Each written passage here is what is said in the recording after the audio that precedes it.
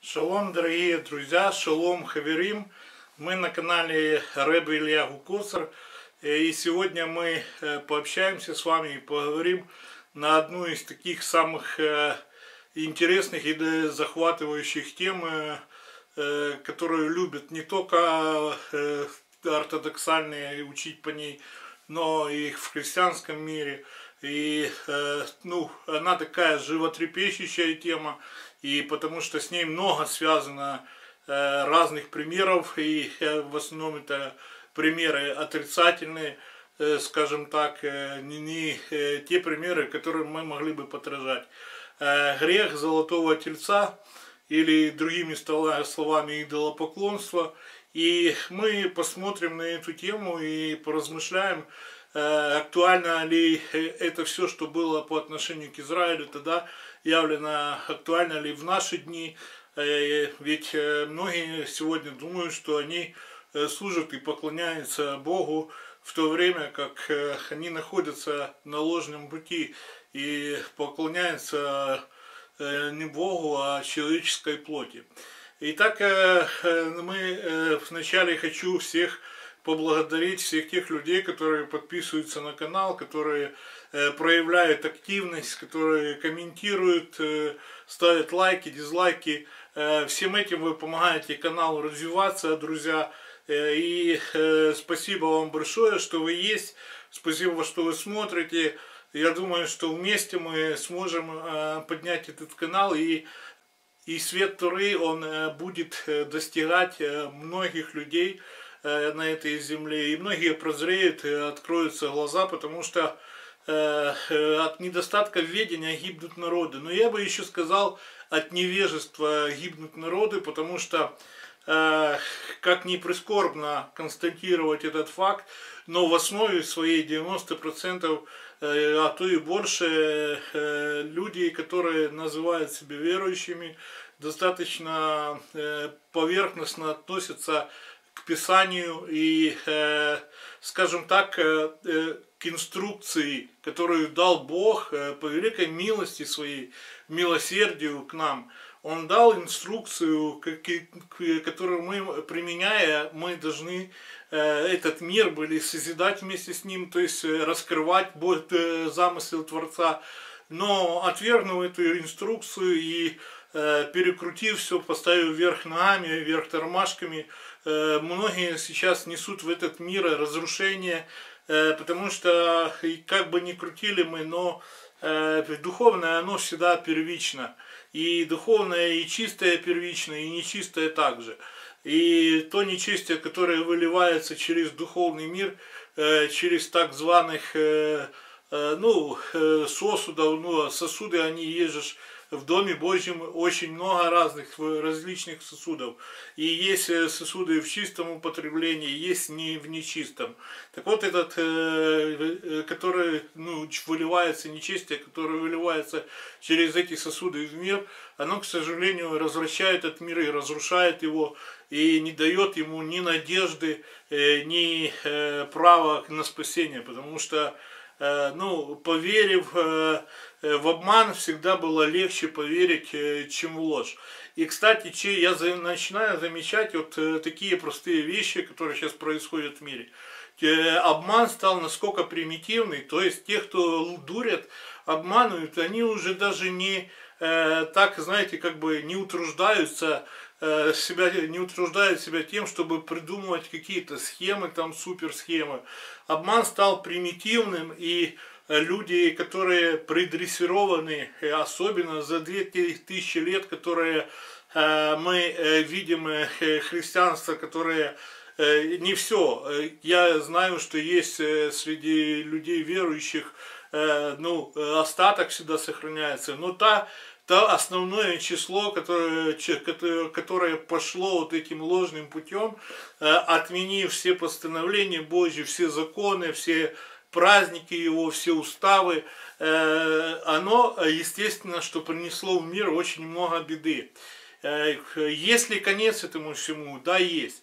Если допотопное общество, оно э, было смыто Богом с лица земли, потому что Бог, глядя на землю, и вот взглянул на землю, и вот написано, зло поглотило, то есть ну, землю. То есть вот этот всякая вот нечистота, всякие лицемерие, подлости, э, пьянство, развраты, которые совершают люди, это и есть то, э, которое на иврите написано э, как Хамас.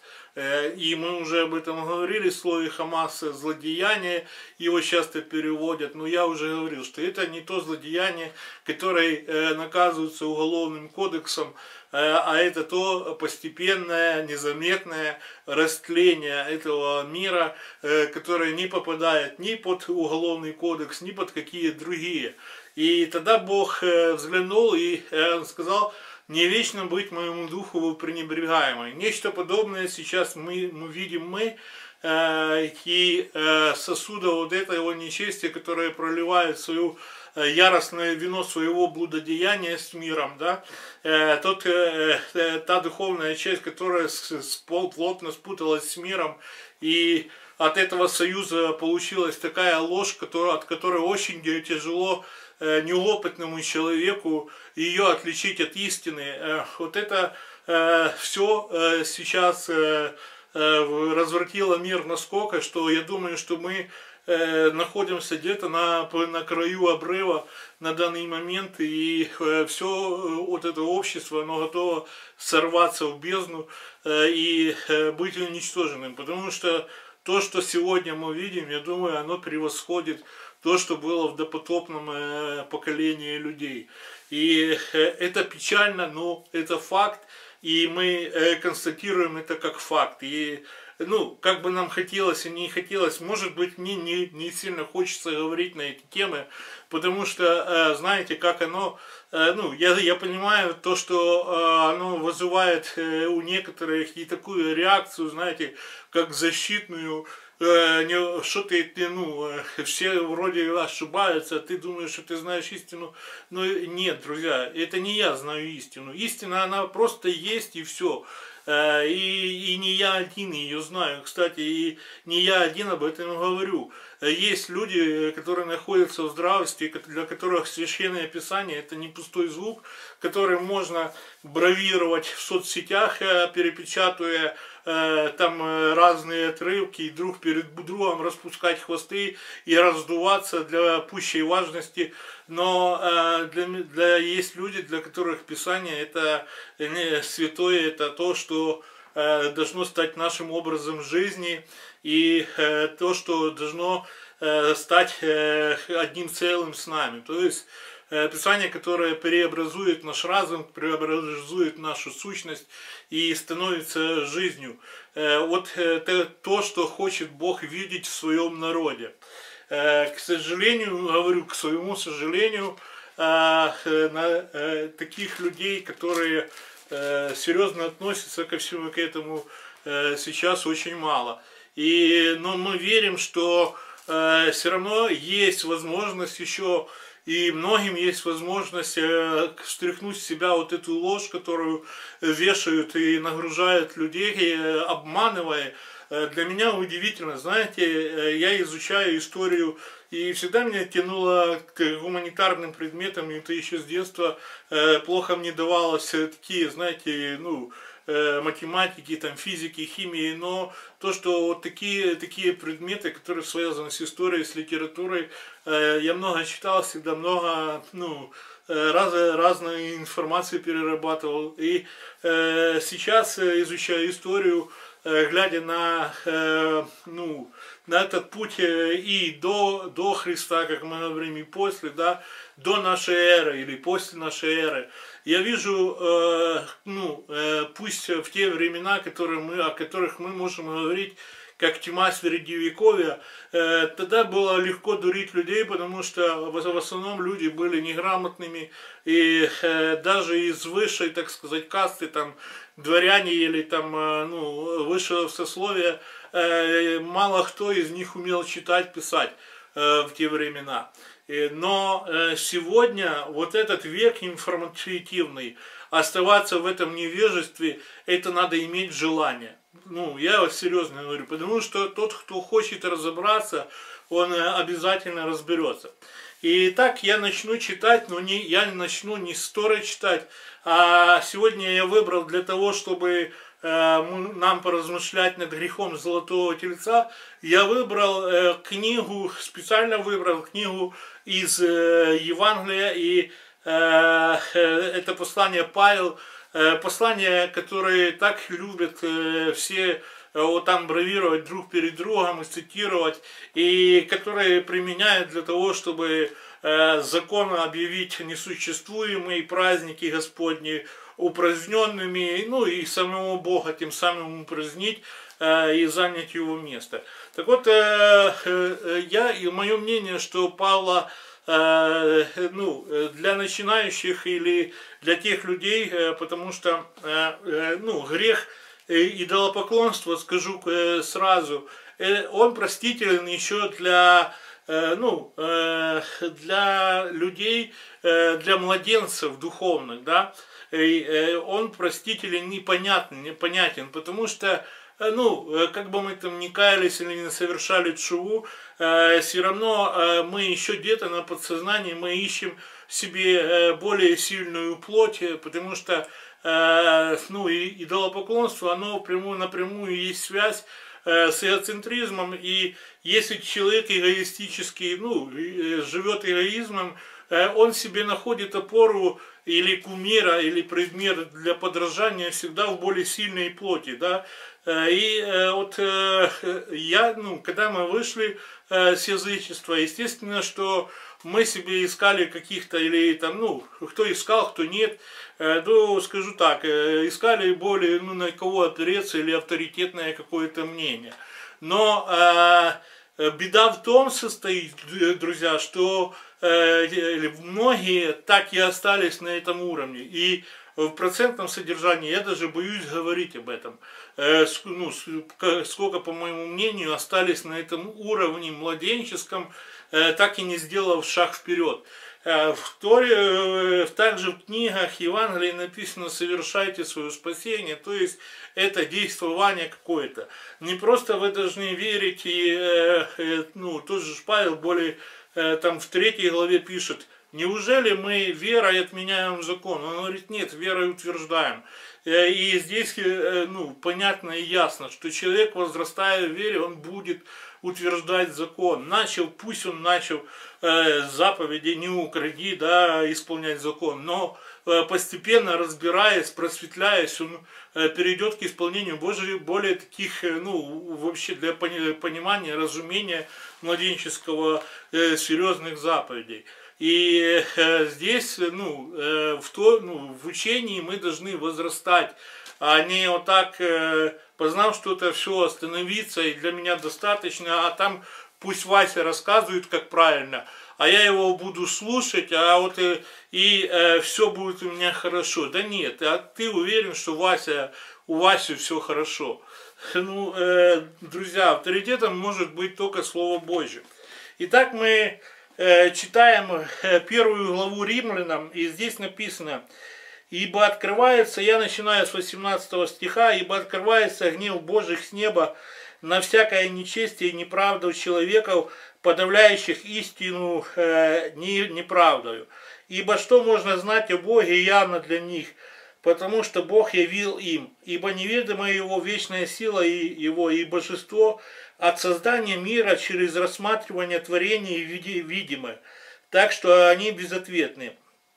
Но как они, познав Бога, не прославили Его как Бога э, и не возблагодарили, но осуетились в умствованиях своих, и омрачилось несмысленное их сердце, называя себя мудрыми, обезумели, и славу нетленного Бога изменили в образ, подобный тленному человеку, и птицами четвероногим и присмыкающимся. То и предал их Бог э, в похотях сердец их нечистоте, так что они осквернили сами свои тела, они заменили истину Божью ложью и поклонялись и служили твари вместо Творца, который благословен во веки. Аминь. Э, в общем, э, друзья, э, вот такие слова. И это записано в, ну, ну, в Евангелии, которую так любят все цитировать. И прошу обратить внимание, образ нетленного заменили э, в образ человеческий э, и подобный тленному человеку. Э, друзья, э, понятно, что тот, кого не, не может вместить вся земля, э, и людям его тяжело представить Бога. Он рассматриваем, мы его рассматриваем в чем? В творениях его, во всей, этой, во всей этой красоте, во всех тех гаммах и во всех тех красках, которые ну, эта земля наполнена. Естественно, иногда попадаешь в такие места и видя тот, ту совершенную картину мира, да, ну, э, поющих птиц, эти зеленые луга, там, э, речки, ну, каждое свой, э, свое представление о красоте. Э, мы, э, сердце наше наполняется благодарью, благодарностью, ибо все это сотворил Бог. И э, мы можем Бога через Его творение рассматривать. Но э, Бога, которого, еще раз повторяю, э, не может вместить вся земля, э, мы его не представить своим умом, не э, как-то в какую-то ну, цифровую какую-то эту не можем вместить, понимаете? И наше сознание не хватает, чтобы этого понять.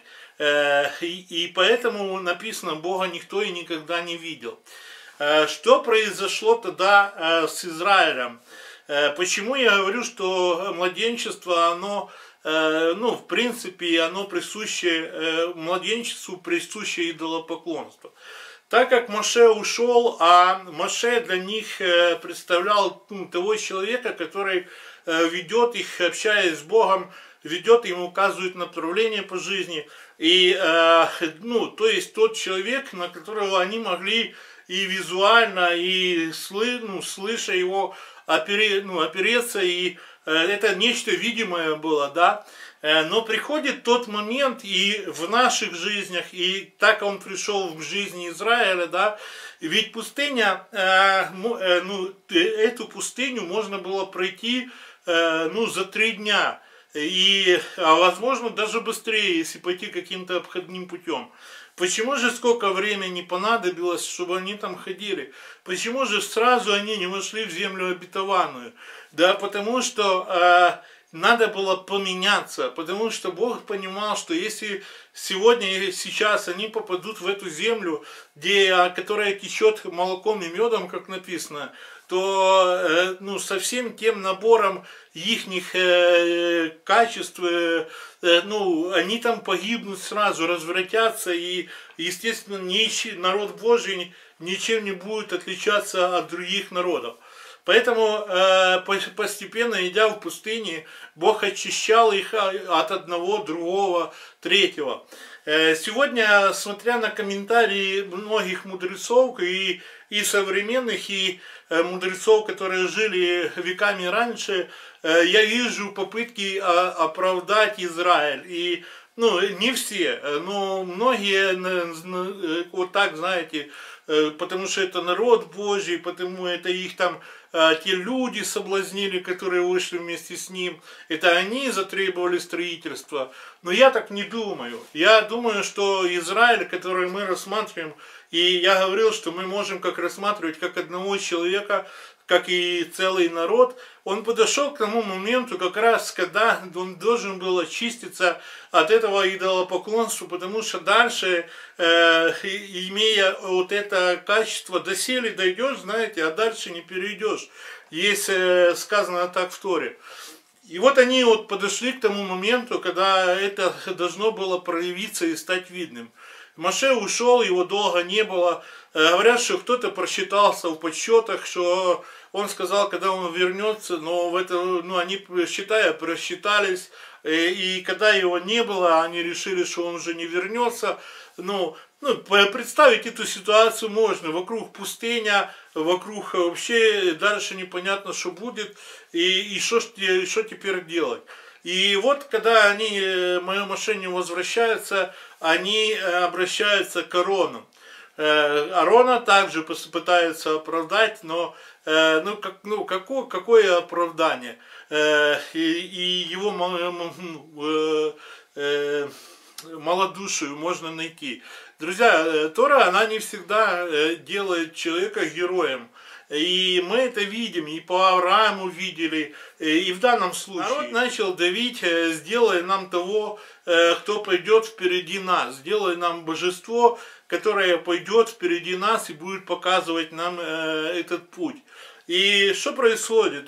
Когда они выходили с Египта, помните, Бог им сказал, возьмите все золото Египта ну, у своих соседей там, и э, то золото, которое было собрано, так как бы часть Египта, которая э, не давала, возможно, им э, покоя. И, ну, потому что ну, есть одна такая интересная притча, я с вами с ней поделюсь кратенько.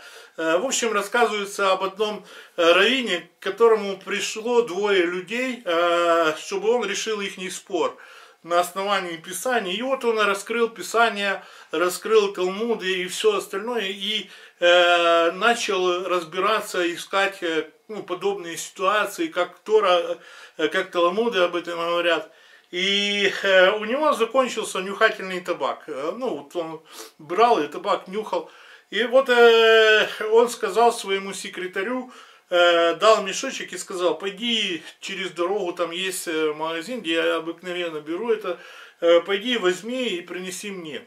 Но на, на, на улице была очень сырая и очень такая паскудная погода, и этот секретарь не захотел одеваться, идти, а увидел тех людей, которые сидели там, а они сразу встали, что сделать? Э, ну, спор которых решался. И одному из них он сказал, пойди вон в магазин, видишь, э, купи э, рыбы табака. Дал деньги. Когда тот вернулся, возвращался человек, он подумал, а вот, положу ли я ему пару золотых сюда, и, возможно, он поймет, что это сделал, или спросит у своего секретаря. И э, он э, решит дело в мою сторону. И вот э, принес он рыбы этот табак, положил с этими двумя золотыми. И Рэбе говорит, что когда уже вот он пришел, у него уже была почти ясная картина, четко выстроена, и он был готов объявить вердикт. Но вдруг все спуталось, и он не мог понять, что происходит. Э, и, э, ну, как это все, ну, вот же точно была ясность, и сейчас все начинает вообще опять запутываться. Он взял, э, ну, по обыкновению своему, когда вот такая, ну, потянулся за этим табаком и вдруг обнаруживает там два золотых. Позвал он этого своего секретаря и сказал, откуда здесь взялись деньги в этом мешке, э, откуда здесь взялось до золота. И тот говорит, наверное, тот человек, которого я посылал за табаком, ну, наверное, Рэбе, прости, он, наверное, положил их туда. И тогда Рэбе все понял. Он сказал, отдай ему немедленно, и я готов э, вынести вердикт. Золото, оно э, может ослеплять, и оно, естественно, оно египетское золото, оно не, способ, не способствует единению народа. Поэтому, э, Божий ли это промысел, или это э, решение Аарона, ну, э, без Бога понятно, что такие решения судьбоносные не принимаются, но Аарон говорит, давайте все золото э, снимайте с себя и украшения, и мы сейчас бросим э, в огонь и э, посмотрим. И когда они бросили в огонь э, это золото, оттуда выходит телец. Э, золотой телец, друзья, ну почему телец? Э, можно задать вопрос. Ну почему не баран какой-то там или козел? А именно телец. Э, во многих религиях мира, в том числе э, ну, э, знакомых нам на, на данный момент, есть такая есть такое понимание, что вот бык или телец, он, прошу прощения, друзья, он ну, олицетворяет собой силу, могущество, то, на что обычно, а, ну, имея вот этот, э, я же говорю, младенец, да, который духовно еще не креп и не понял, что в этой жизни можно опереться только на Бога, и вот это есть несокрушимая сила, потому что э, все остальное, вся остальная сила это муляж, это то, что э, кажется сильным. Оно может казаться сильным для многих людей, но когда Бог решает, и вот происходит вот такой переворот, и бессильный еврейский народ, рабы, избавляется в одну секунду от фараона, который, имея абсолютную власть, имея абсолютно такое сильное войско, вдруг погибает в этих водах моря, друзья. И поэтому, ну, но этого урока мало. Э, ну и э, вот э, следующий урок. Телец, могущество, сила. Вот что влечет людей и, и вот куда склонны устремлять свои взоры язычники. И понимаете, те, кто едва отстает от материальных начал, они опять начинают в них запутываться. Э, друзья, э, скажу сразу, и грех идолопоклонства это считается одним из самых тяжелых грехов. И мы можем э, посмотреть, это первый, можно сказать, холокост еврейского народа. Мы можем посмотреть по числу погибших. Больше погибло только от блуда. И это второй по количеству греха, который губит народ и не просто народ, а еще и народ Божий э, может губить. Потому что дальше события молниеносно э, ну, э, развивались. Когда вышел этот телец, они начали ему поклоняться, начали его прославлять, а потом начали пьянствовать и помните, и там уже забавляться. Многие, глядя на этот момент, говорят, что начался, началась оргия, обычная языческая оргия, э, и, ну, причем самых ее таких э, нехороших проявлений. Э, проявлениях. Ну, о оргиях вы можете посмотреть, почитать, что такое это, особенно любили Рим, или римские патриции эти устраивать. Это очень нехорошие дела. И вот, э, друзья, э, Маше, Бог говорит, сойди на землю. Сначала он говорит, что народ развратился, а потом говорит, подожди, я сейчас уничтожу их и от тебя произведу народ. Представьте, какой соблазн э, для Моше. И э, знаете, ну не случайно он избранный. Э, какой соблазн, как для человека. Ты становишься вместо Авраама, вместо Иакова, Ицхака, да, и твое имя, когда будут упоминать, не просто как человека, которому было дана Торва, хотя и это очень много, это я не знаю, но твое имя будет упоминать как родоначальника Израиля. Друзья, и э, э, что происходит с Моше? Не зря Бог избрал его. Моше говорит, если ты хочешь убить их, то первого убивай меня. То есть это первый тот ходатай, который стал на защиту Божьего народа и стал, закрыл своим телом. Потому что, э, слава Богу, там не все э, подобным образом себя вели. Э, многие просто попали под влияние, но некоторые вообще в этом не принимали участие. И Бог сказал, тогда сойди э, туда и э, посмотри, что там происходит. И когда они сходили, Иисус Новин говорит, «Э, я слышу крики, там, наверное, сражение идет. И Маше говорит, это не крик сражающихся, и не крик э, побеждающих, и не крик побежденных. Это крик людей, которые занимаются полнейшей ерундой. То есть идолопоклонничество, оно не, ну, оно ведет, это не просто от, э, ну, э, безобидный грех, да, хотя безобидных грехов не бывает, оно неизменно ведет к тяжелым последствиям, друзья. Э, эти последствия э, описаны хорошо в той же главе Римлянам, и я сейчас зачитаю, и вы поймете, о чем я говорю. Они, они заменили истину Божью ложью и поклонялись и служили твари вместо Творца, который благословен во веки. Аминь. Потому предал их Бог постыдным страстям. Женщины их заменили естественные употребления противоестественным, подобно и мужчины, оставив естественное употребление э, женского пола, э, разжигались э, похотью друг на друга мужчины на мужчинах, делая срам и получая э, в самих себе должное возмездие за свое заблуждение.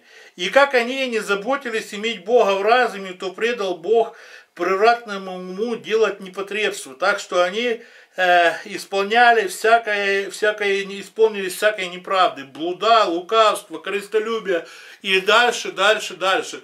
Друзья, захотите, прочитайте. Вот к чему ведет идолопоклонство, э, к чему я веду я. Сегодня, э, несмотря ни на то, что э, нигде, ни в одним словом Ишуа, даже когда ему задавали вопрос, э, ну, э, как молить, кому молиться, как молиться правильно.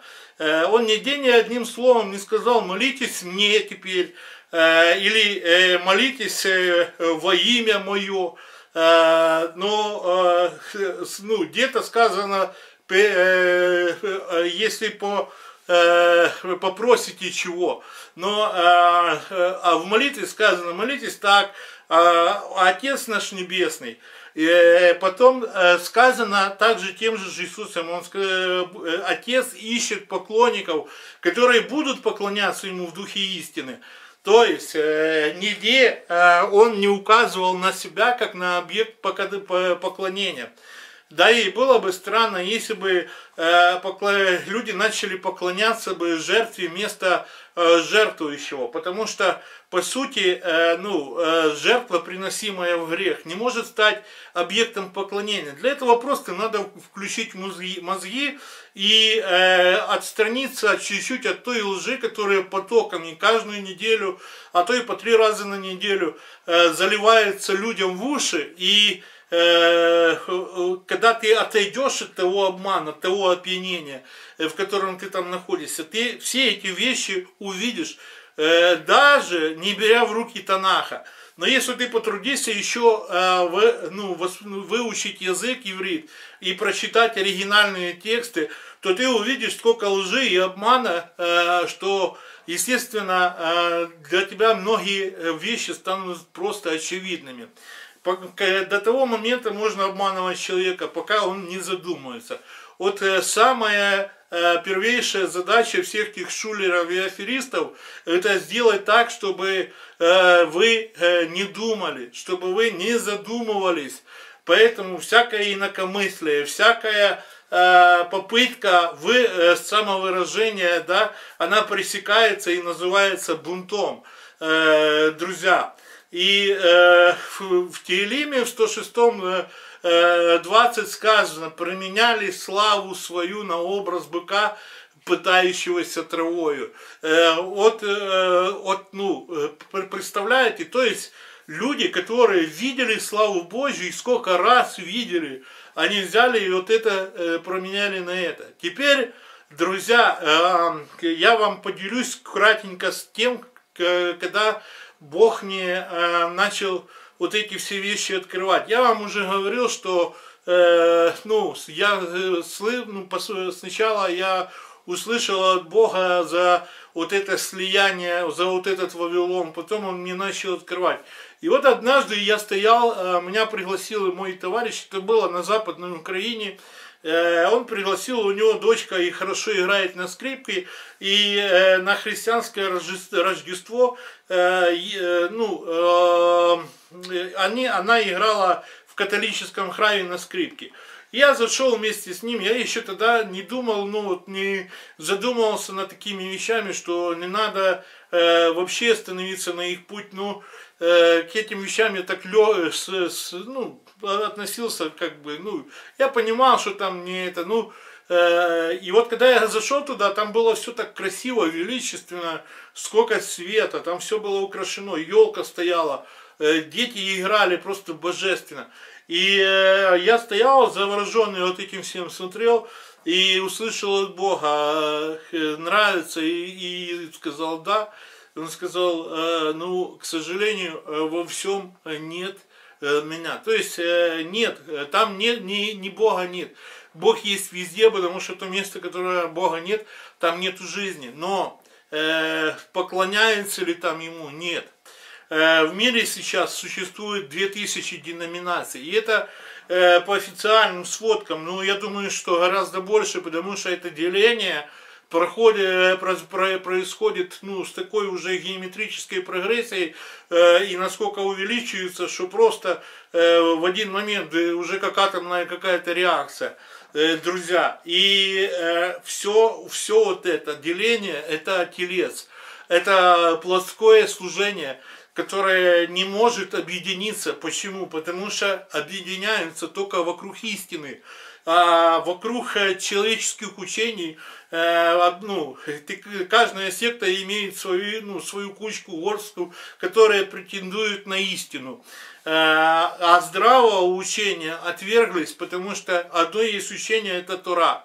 И другого учения Бога о его народе, для его народа, пока не предложено. И те умники, которые разные там предлоги ищут, что вот там, там э, вы не можете исполнять. Я не могу, может быть, всю 613 заповедей исполнять, но если учитывать Евангелию, то заповедей гораздо больше, э, и повелений, и постановлений сейчас. Но э, в рамках того, до чего я достиг, а я хочу достигать больше, я могу исполнять то все, что мне открыто, и то, что я вижу, что нельзя делать, Бог запрещает, а это повелевает делать я, насколько у меня хватает сил, и сколько Бог небо дает мне благодати, мы делаем. И э, стараемся делать еще больше. Э, и познавать Бога больше, потому что предела э, не существует. Друзья, а ну, вот эти все служения, которые назвав себя служением Богу, на самом деле это противники Бога, это не что иное, как золотой телец – Э, молчать об этом, э, может быть, выгодно бы было бы для меня. Почему? Потому что, ну, зачем э, с такой массой народа, если ты развиваешь канал, если ты хочешь, чтобы побольше людей приходило, зачем с такой массой людей ссориться, скажете вы. Но я же не ссорюсь, и моя же, мои же слова, они не направлены против людей.